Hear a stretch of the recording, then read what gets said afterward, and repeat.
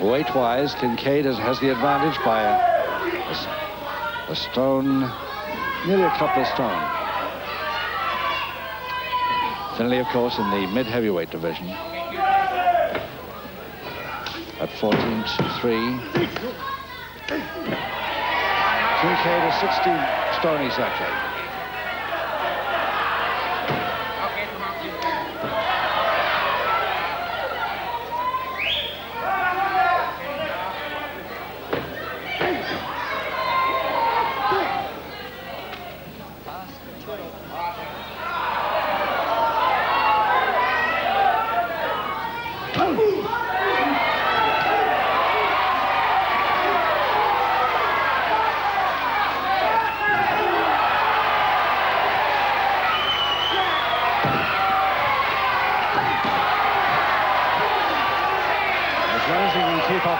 To Dave Finlay, the crowd here will be happy.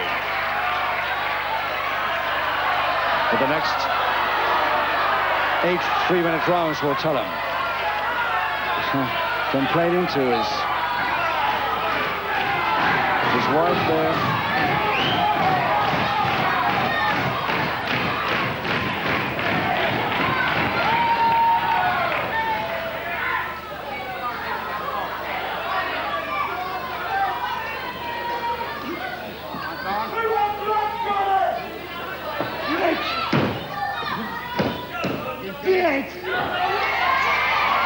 See how quickly Dave Finlay was out of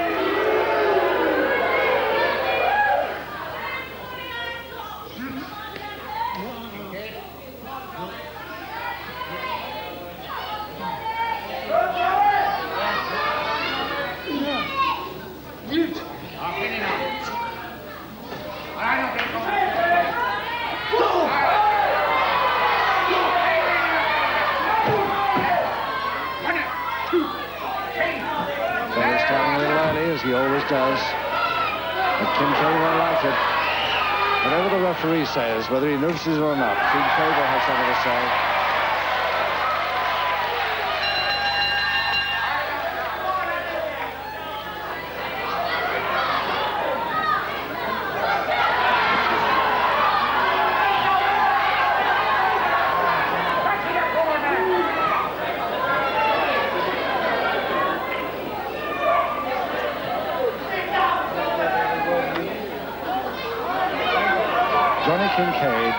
Barbados, 16 stone exactly. Secondly, round two.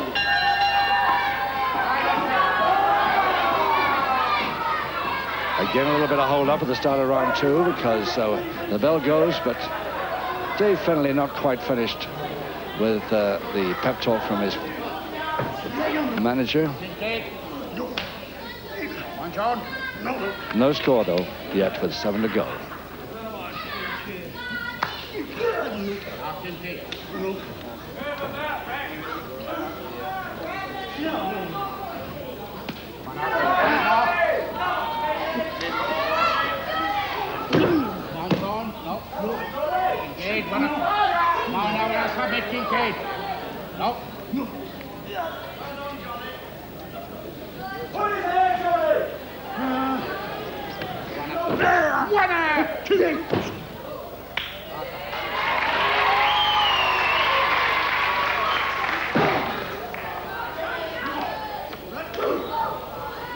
a couple of minutes to go in the second round. Finlay bringing out the big guns now, but he's got troubles because this is a heavy boy and a very strong man against him.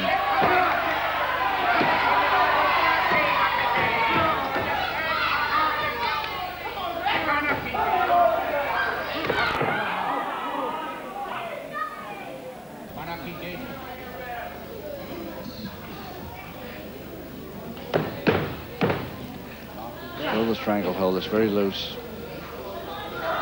It's a bit better with a headlock. Come on, John. Come on, ask him. Ask him. Johnny Kincaid won and think of submitting from there. but he's thinking much harder about when to move.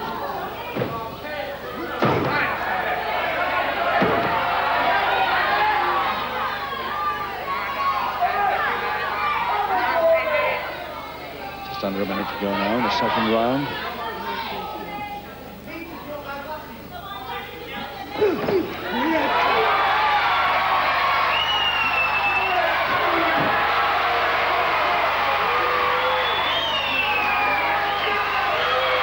A swinging uppercut and the headbutt to the forehead by Kincaid.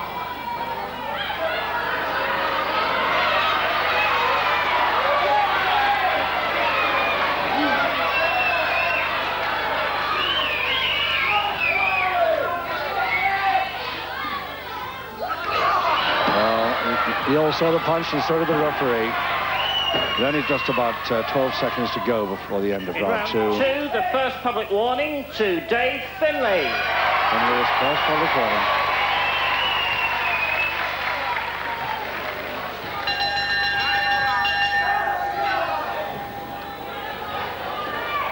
All sorts of complaints, of course, from Dave Finlay to his wife or the referee or anybody will listen. Why a public warning for that?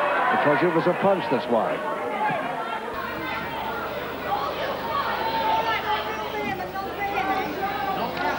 They are reminding, just a last minute reminders as to what he wants, she wants him to do.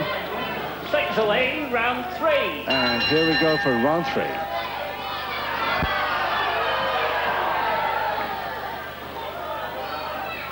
Kincaid waiting patiently at the center of the ring, as he seems to be doing most of the time here.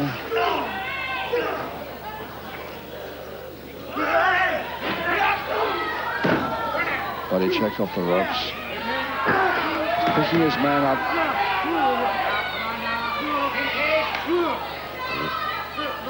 Referee allowed it as part of the same move.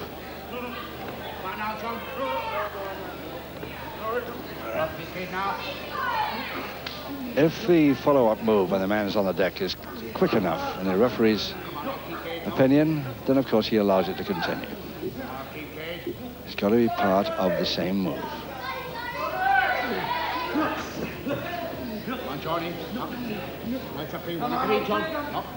Peter Szakacs looking close as always. Up the backhand thrown across press.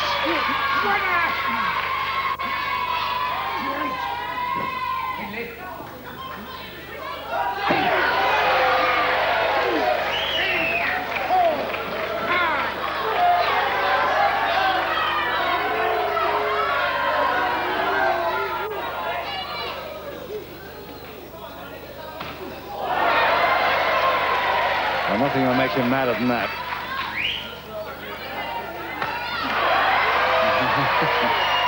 Except maybe that.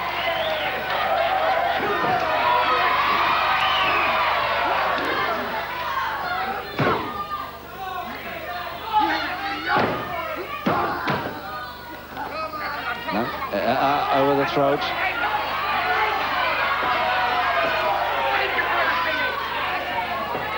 Better get off, you'll have the public warning.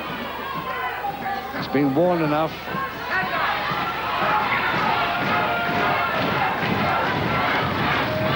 Minutes ago, Finlay disappointed he wasn't allowed to stay there a bit longer.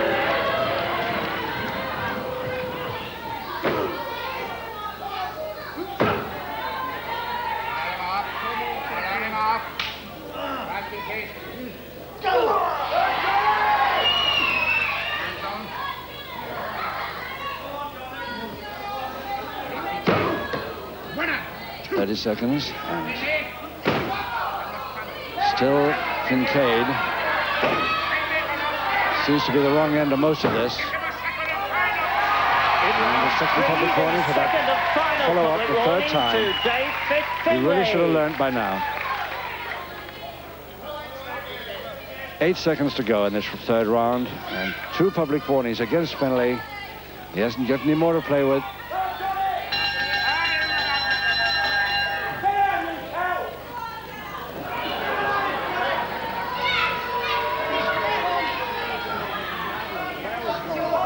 Johnny Kincaid, I don't think he's going to get back to his corner. in this particular interval. He can't wait to get at this man who's two public warnings dishing out the dirt to him in the last round.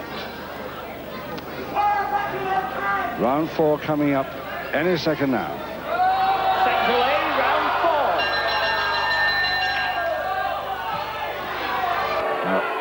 The packed crowd here at the town hall in High Wycombe really screaming at Kincaid to go in and kill this man. but of course, he might be having a, a, might have a lot of weight advantage there on Kincaid's side, but Dave Finlay is a tremendous wrestler. And if he ever starts getting into form here, and finding his timing, she doesn't seem to have discovered yet. Kincaid could be in a lot of trouble.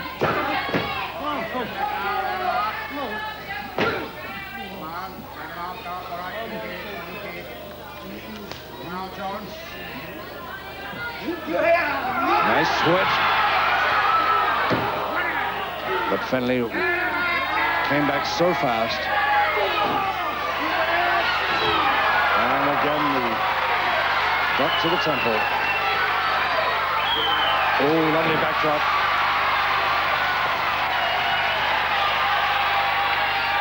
And again, and a cross press to Kincaid. Holds the leg, makes sure the balance.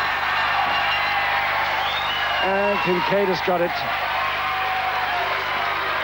in just one minute, 12 seconds of round four. Kincaid, the first fall. In round four, the first fall goes to the red corner, Johnny Kincaid.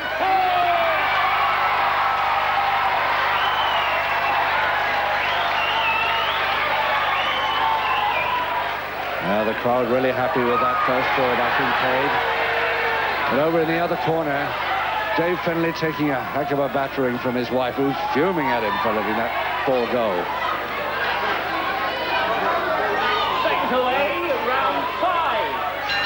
Halfway through the bout now, as we start round five with Kincaid leading Dave Finlay by one fall to nil and two public warnings against Finlay, who doesn't seem to want to come out for the start of the fifth round.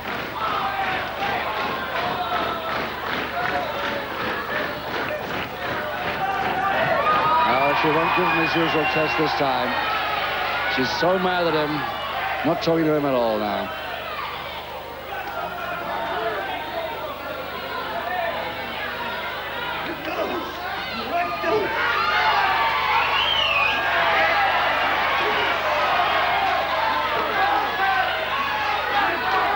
And he doesn't seem to be answering this at all at the moment. Beautiful time posting.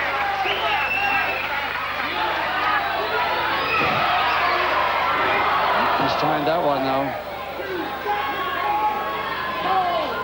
Finlay just trying to get them. His opponent a little bit confident. He's up, but he's in trouble with that left arm, and he could get submit from me immediately from this. As we can get that chicken wing on, he's nearly there. Those hands meet. He's got a submission. And he's got it. The, the hands have, have met.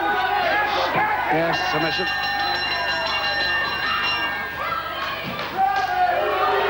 The equalizing submission to Dave Finlay in round five, just taking him one minute, 25 seconds. And round five, the equalizing submission goes to Superman Fit Finlay. Now the princess is talking to him now, right? She's forgiven him everything. Yes, we're all right now. He's back in the game with an equalizing submission in round five. So three rounds to go. Second away, round six. And Kincaid not happy in this corner because of that left arm. It's worrying him, and I think he's maybe not even going to continue. Peter Szakacs will let us know. I think that's it. Kincaid's troubled with that left arm, but he missed on the posting, followed up his posting on Finlay. Finlay stepped aside, and Kincaid got that shoulder right against the corner post. And I'm afraid that's it. So it's a technical Thank knockout. you. Finlay the winner. At the beginning of round six, Kincaid fails to answer the bell. retiring through an arm injury. The winner, Pitch Marvelous Finlay. And a very happy Princess Paula now. That was a chicken wing! I was rolling on it! Anybody you want! I'll beat them! He just got the equalizing submission after Kincaid's first fall in round four, but a technical knockout win because Kincaid failed to answer the bell in round six. And with that, it's goodbye from all of us at High Wycombe. Have a good time. Till next time.